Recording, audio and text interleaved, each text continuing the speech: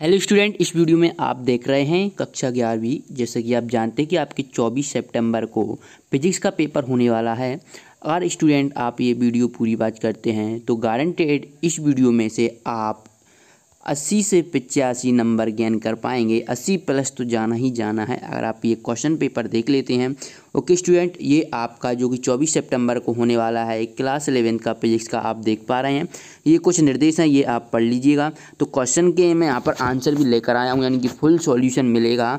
Okay student, ये very very important question है। आपके क्वार्टरली एग्ज़ाम की दृष्टि से स्टूडेंट, इन क्वेश्चन को आपको अच्छी तरीके से कर लेना है। ओके स्टूडेंट, पहला क्वेश्चन है सिद्धांत तथा नियम में अंतर लिखिए। तो स्टूडेंट, मैं स्क्रॉल करूँगा, आपके पास टाइम नहीं है बिल्कुल भी तो इसलिए मैं टाइम वेस्ट नहीं करूँगा। आप यहाँ पर पढ़ लीजिए अच्छी तरीके से और इनको लिख लीजिएगा। स्टूडेंट दूसरा क्वेश्चन देखते हैं, विमीय समीकरण किसे कहते हैं? उसके उपयोग लिखिए। कोई चार उपयोग तथा सीमाएँ बताइए। अब क्वेश्चन सीधे डायरेक्ट नहीं पूछेगा, क्योंकि ऐसे तो बहुत बड़ा हो जाएगा। या तो आपसे कोई चार इसकी क्या पूछेगा? उपयोग पूछेगा, या फिर कोई चार सीमाएँ पूछेगा। लेकिन आपको उपयोग भी कर लेना और इसकी सीमाएँ भी याद कर लेना है। ओके बिमी समीकरण किसे कहते हैं? यहाँ तक तो उन्होंने डेफिनेशन लिखी है बिमी समीकरण की। ओके ये तो आप यहाँ पर देख पा रहे हैं, ये इसकी ये तो बिमी समीकरण की डेफिनेशन है। ठीक है तो इस प्रकार से आपको बिमी समीकरण की डेफिनेशन लिखने के बाद बिमी समीकरण के उपयोग लिख लेना है। जैसे ही आप यहाँ पर ये उपयोग लिख लेंगे चार पर इसके बाद सीमा याद कर लेना। तो इसमें से एक ना एक क्वेश्चन आपको देखने को मिल सकता है। ओके स्टूडेंट ये वेरी वेरी इंपॉर्टेंट है। इनमें से अगर आप ये मैं जो बता रहा हूँ, उनमें से बहुत ज़्यादा क्वेश्चन आने के चांसेस हैं, इसलिए इनको अच्छी तरीके से करें। ओके स्टूडेंट ऐसा ही पद्धति में कौन से मूल व ये हमेशा ही पूछा जाता है। क्वेश्चन इसलिए मूल मात्रक और पूरक राशियों को इसलिए मैंने यहाँ पर दे दिया है। सात ये ऑब्जेक्टिव में हमेशा पूछा जाता है, कितनी मूल राशियाँ होती हैं? तो सात मूल राशियाँ होती हैं, पूरक दो राशियाँ होती हैं। ओके स्टूडेंट चलिए। इस प्रकार से ये आपको चार्ट याद कर लेना है। ये बहुत ही वेरी इंपॉर्टेंट है। आठ, चार सौ चार सौ चार सौ। जी हाँ दोस्तों, इस व्हाट्सएप नंबर को याद कर लीजिए। यहाँ पर आपकी मैथ फिजिक्स केमिस्ट्री बायोलॉजी सभी क्वेश्चनों के डाउट सॉल्यूशन होंगे। आप अपने व्हाट्सएप पर ही। तो दोस्तों, आपको क्या करना होगा? अपने फ़ोन में इस व्हाट्सएप नंबर को सेव कीजिए और आपको जिस क्वेश्चन में डाउट है, उस क्वेश्चन की यहाँ पर आपको फ़ोटो खींचना है और उसे अच्छी तरीके से क्रॉप करना है। तुरंत आपको उसका वीडियो सॉल्यूशन मिल जाएगा। फिर आप चाहे सिक्स से ट्वेल्थ तक हो I I T JEE mains advance के हो या फिर सी बी एस ई आप यू पी या फिर किसी अन्य बोर्ड का हो, तुरंत पाइए अपने व्हाट्सएप पर सभी क्वेश्चनों के डाउट सॉल्यूशन। तो लिंक डिस्क्रिप्शन में दी गई है, जाइए डाउनलोड कीजिए। ये दो हज़ार जब आपके पिछले पेपर हुए थे उसमें पूछा गया था ये क्वेश्चन ओके चलिए पूरक राशि तो ये आपको पूरक राशि भी लिख लेना है। वैसे मूल राशि ज़्यादा पूछी जाती हैं। इसके बाद मात्रक क्या होते हैं तो मात्रक भी पता होना चाहिए और व्युत्पन्न मात्रक से क्या तात्पर्य ये कभी कभी छोटे एक एक, एक वाक्य में पूछ लिया जाता है इसलिए इनको भी याद कर लीजिए मात्रक की डेफिनेशन और व्युत्पन्न मात्रक। ओके स्टूडेंट इनको आपको अच्छी तरीके से कर लेना है ये आपके सार्थक अंक। इससे स्टूडेंट आपका यहाँ से हमेशा ऑब्जेक्टिव आता है एक आपको सार्थक अंक से संबंधित, इसलिए मैंने ये दे दिया है। अगर आप इसको अच्छी तरीके से पढ़ लेते हैं, इसकी कुछ महत्वपूर्ण बातें ध्यान रखते हैं तो कोई भी पूछ ले, चाहे आपको four point zero three three में सार्थक अंकों की संख्या पूछे या फिर zero point two four five में तो आप आसानी से बता पाएँगे। इसलिए इसको पढ़कर ज़रूर जाएँ। एक ऑब्जेक्टिव यहाँ से पूछा जाता है ओके तो इस प्रकार से मैं यहाँ पर स्कॉल कर रहा हूँ। ये इसको महत्वपूर्ण बिंदु हैं, इनके ज़रिए आप सार्थक अंक निकाल सकते हैं। ओके स्टूडेंट इस प्रकार से, ओके? फिर इसके बाद नेक्स्ट क्वेश्चन है, दूरी और विस्थापन में अंतर। स्टूडेंट इसको आपको कर ही लेना है, ये वेरी वेरी इंपॉर्टेंट है, दूरी और विस्थापन में अंतर। तो यहाँ पर मैं स्क्रॉल करते जा रहा हूँ, क्योंकि आपके पास बिल्कुल भी टाइम नहीं है, इनको अच्छी तरीके से पढ़कर जाएँ।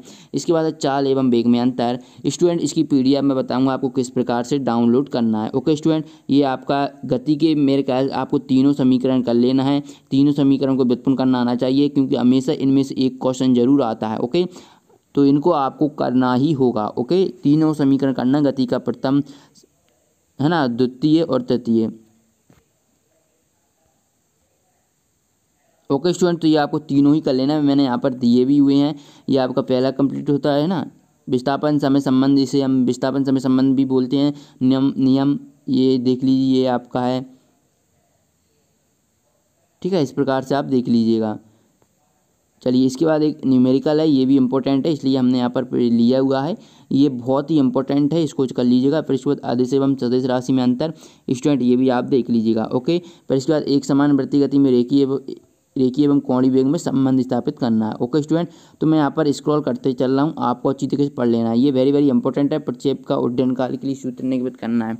इनमें से एक हुआ प्रक्षेप के पद परवलयकार होता है, इसके लिए सिद्ध कीजिए और महत्तम परास के लिए। इन तीनों क्वेश्चन में से एक क्वेश्चन अवश्य पूछा जाता है तो मैंने ये भी दिया है, प्रक्षेप का पथ परवलयकार होता है।